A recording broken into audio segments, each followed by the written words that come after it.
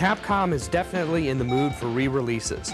First came Resident Evil Director's Cut, then Street Fighter Collection, then Resident Evil Director's Cut Dual Shock version, then Resident Evil 2 Dual Shock version. Now it's Street Fighter 2 Collection. Guess what? It's a collection of various versions of Street Fighter 2. Gee, you never would have guessed. The versions included are Street Fighter 2, Street Fighter 2 Champion Edition, and Street Fighter 2 Turbo Hyper Fighting, which practically negates the other two. Capcom evokes a real feeling of nostalgia by remixing the original musical score. The sound effects seem unchanged though. We're not sure if that's good or bad. Now you can revisit all those gone but not forgotten classic characters, many of which were scheduled to return in the upcoming Street Fighter Alpha 3. One question though, when on earth are they going to release Street Fighter 3?